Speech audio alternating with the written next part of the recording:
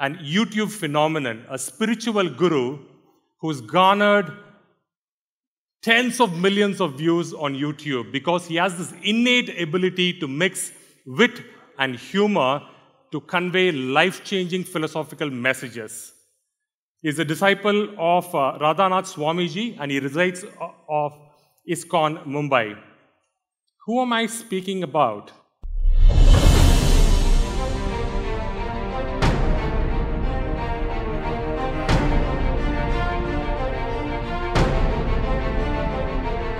Ladies and gentlemen, our pleasure to invite His Holiness Gaur Gopal Prabhu.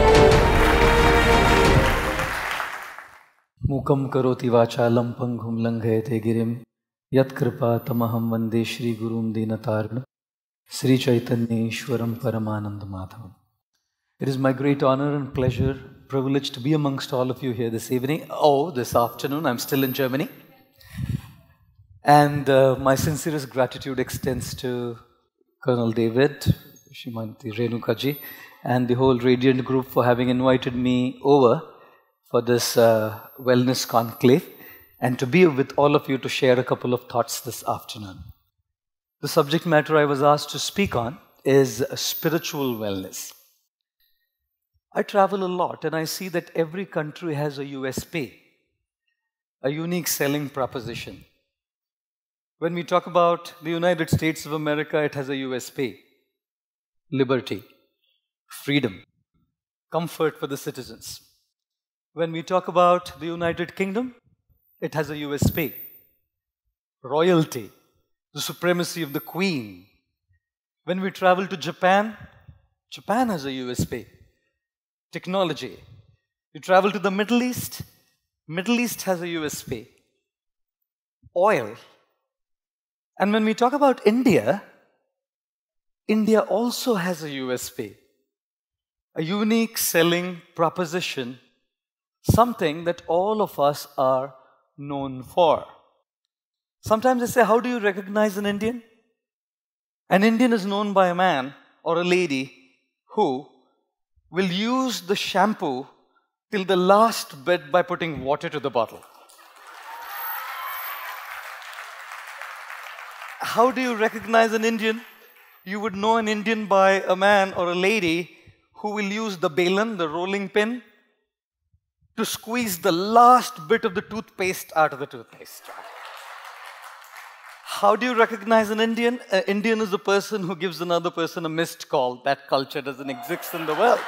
There's nothing like a missed call in the world, by the way, ladies and gentlemen. How do you know an Indian? You would know an Indian by a person who will use a t shirt till there's a hole in it. And once it's used unusable in the day because there's a hole in it, you would probably start using it in the night. And if it's still not usable in the night any longer, you keep it for holy. And if it's not even usable for holy, then you use that pocha.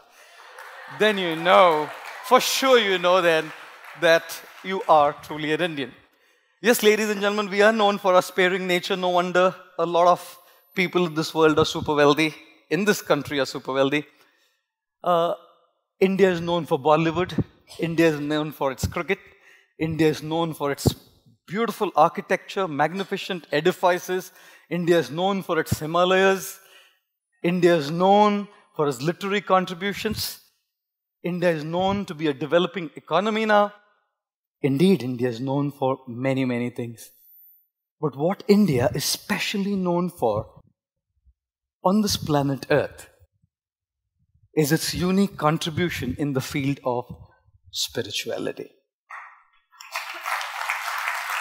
Wherever I travel in the world, I see people glorifying, talking about, eulogizing the principle of spirituality that comes from this great land, Bharat Bhumi. People from America, people from Europe, people from different parts of the world come to India to see the beauty of India. But if you go to Rishikesh, you go to the Himalayas, there's a lot of people out there who are coming here to learn spirituality, who are coming here to learn yoga, who are coming here to learn the inner engineering, the inner ecology of life. Of course, when we talk about wellness, how can we neglect the principle of spiritual wellness? This afternoon, I thought I would share with you an analogy that one of my spiritual mentors, His Holiness Sachinandan Swami, who's a German by birth, once told me. It's a beautiful analogy. It's called the tree of life. Whenever we look at a beautiful tree, one of the most essential parts of the tree is its roots. A tree has three aspects to it, essentially. One is the roots, the second is the trunk, and third is the crown of the tree. And when we talk about the roots, a healthy tree has healthy roots. The deeper the roots, the stronger the roots, the tree stands strong in storms, cyclones, hurricanes, and tornadoes. And the roots are not seen to our eyes. Ladies and gentlemen, those roots are compared to our spirituality. Our achievements are seen to people, our gadgets are seen to people, our money is seen to people, our accolades are seen to people, our charisma is seen to people, our success is seen to people. What's not seen to the eyes of the people is our roots, our spiritual development. And therefore, I always say if we do not work on what is unseen, it's very difficult to sustain what is seen. One of my friends in Mumbai, he purchased a very slick Lamborghini. He's a wealthy guy. He purchased a very slick, posh yellow Lamborghini. He's a Gujarati. So he called me from the showroom and he said to me, Swami ji Hindi में बोले वो स्वामी जी आप पगला करेंगे आई set to him भाई दुनिया पगली है अब और किसको पगला करेंगे ही सेड नहीं नहीं In Gujarati, pagla means, will you kindly touch your feet to my car? Pagla. घर का पगला करेंगे गाड़ी का पगला करेंगे ऑफ़िस का पगला करेंगे which basically meant will you bless my car I set to him भाई लैम्बोगिनी है क्यों नहीं करेंगे पगला? साधुओं को कब लैम्बोगिनी का पगला करने I say please come along you know the gentleman drove to where I lived and he said to me, well, uh, we'll go for about a 15 minutes drive.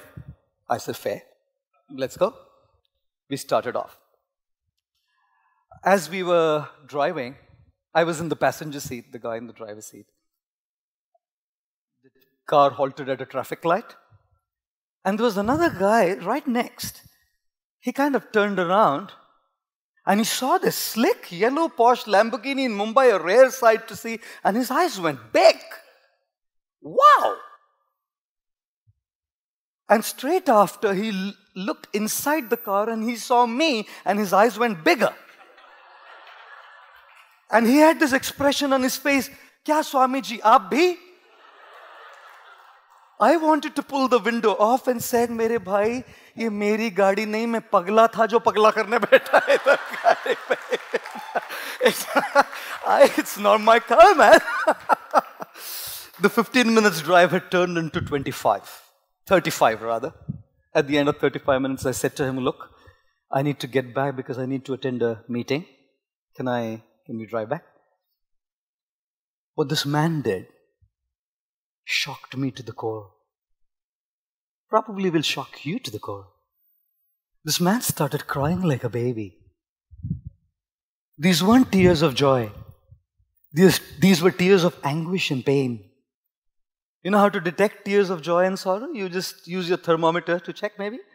Because tears of joy are cold and tears of anguish are warm. Of course, next time anyone cries, don't take a thermometer saying, Are you happy or are you sad? I asked him to park the car near the sidewalk. I said to him, What happened? With great difficulty, he spoke and he said, Just three days back, my wife has filed papers for divorce. I love her. My children love her. She's one of the best mothers that one can ever have. And we don't want to miss her. We've tried everything possible, but just doesn't work. Of course, I tried to console him, pacify him, and then I was thinking to myself, the world sees his Lamborghini. The world sees his success. The world sees his bank balance. The world sees his popularity. The world sees all of these things, and I sit with the who's who in the country. And when they confide with me, I see what's happening inside. Ladies and gentlemen, yes, the trunk of the tree is visible to our eyes. Ladies and gentlemen, yes, the crown of the tree is visible to our eyes, but the roots of the tree, which are underneath the soil, which are invisible to our eyes, is our inner development, our spiritual development.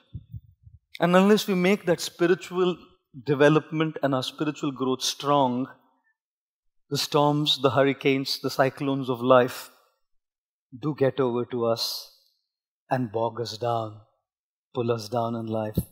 Therefore, I say, some people are just so poor, so poor, so absolutely poor that all they have is money. And thus I say, if you want to know how rich you are, then count all those things you have that money cannot buy. I'm not saying money is bad. I'm not saying we shouldn't have money. I'm just saying that we can't connect that as the be all and the end all of life. Krishnamurti ji, thank you for your financial ad- advice. and I'm sure that advice must be taken very seriously in order to really keep it going and life going. At the same time, we also need to look at the roots. And that's why I say the roots, strengthening the roots happens by connection. Connection to our own selves, connection to divinity that's why meditation, yoga, chanting, prayer is gaining such popularity all over the world because everyone sees that the unseen roots need to be strengthened so that the tree is strong. And when those roots are strong, the second aspect, which is the trunk of the tree, the trunk of the tree is our physical and our emotional well being. That's the trunk. And a trunk can stand strong and a trunk can stand stable only if the roots are deep and strong. If the roots aren't deep and strong, the trunk is dodgy and wobbly.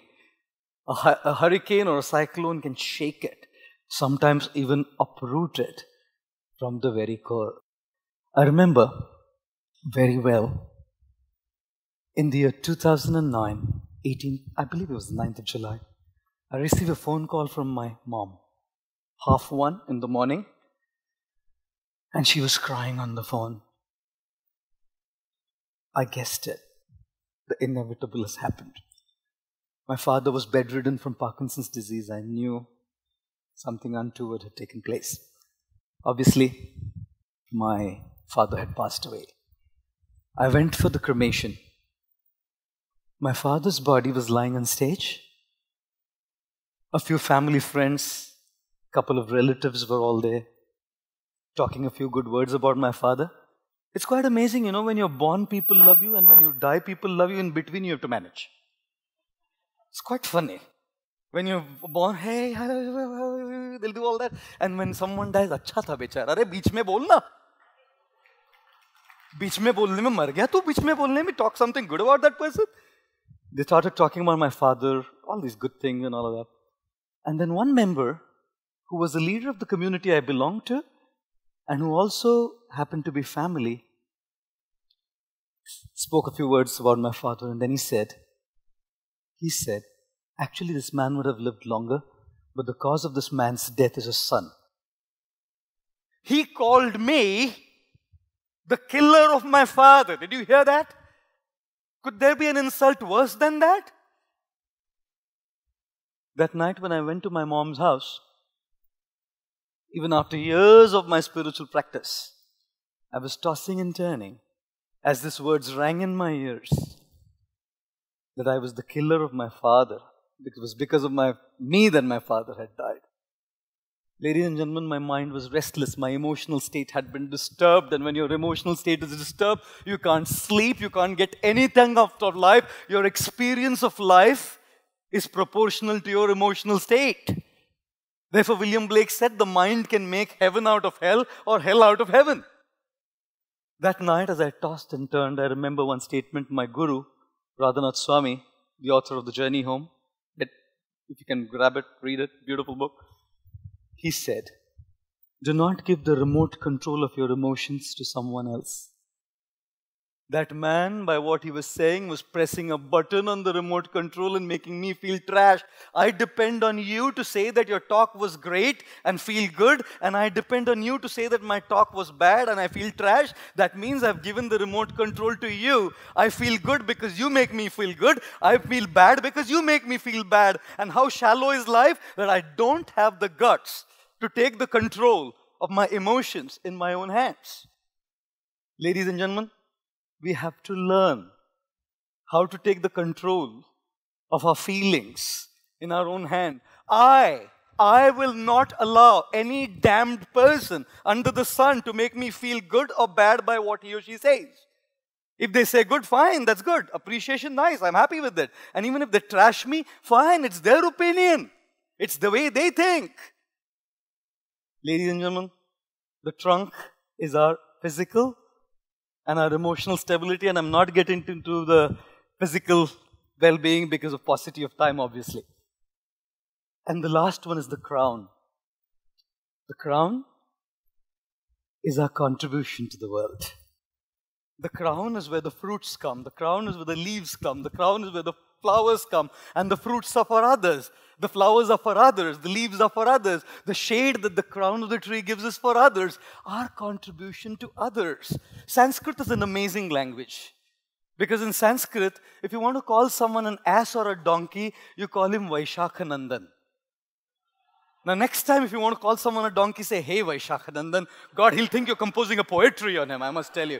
I must tell you, you know. And Sanskrit is amazing because in Sanskrit, ice cream is called Dugdha Sharkara Yukta Hima Ghanagola Now, if you want to say mango ice cream, you would say Amra Dugdha Sharkara Yukta Hima Ghanagola And if you want to order it, God, to say Amra Dugdha Sharkara Yukta Hima Ghanagola Anaya, by the time you order it, it will melt away, you know.